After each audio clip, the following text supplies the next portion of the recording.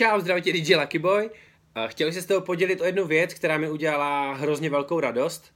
A to je ta, že jako prvnímu v České republice se mi podařilo sehnat kolaboraci Vans a Toy Story.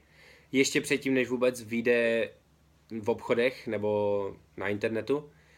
A rozhodl jsem se, že tu krabici rozbalím s váma. Mám ji tady. Mám z ní hrozně velkou radost. A jdem na to. Určitě každý z vás měl nějakou oblíbenou postavičku v tom, v tom příběhu. To mojí byl Buzz Rakeťák. A proto jsem super šel po modelu Buzz Rakeťáka. Za mě jsou ty boty hrozně, hrozně moc propracované. Samozřejmě dost, dost extravagantně šílené. Ale o tom to je. Hrozně moc se mi líbí uh, několik prvků, které tam Vance zapracoval a jedním z nich, který mě fakt dost baví, je to, že díra na tkaničky je úplně ve stejných barevnostech jako tlačítka na uh, skafandru baze raketáka. Další věci jsou natištěné šroubky po celé botě, což je podle mě hrozně super.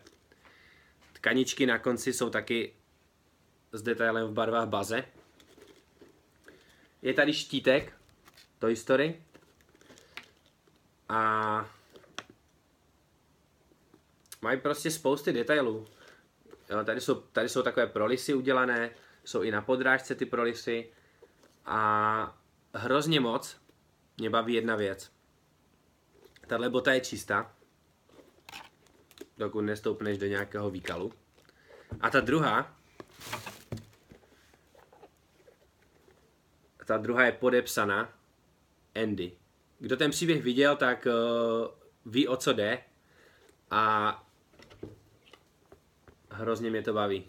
Fakt jsou ty boty skvěle zpracované, jsou šílené a jsou prostě boží. Takže Toy Story Vans vychází už za několik dní. Tuším, že to bylo 29.11. nebo tak nějak. A ty je vidíš jako první. Takže Toy Story. Hm. Všichni budeme pořád děti, ne?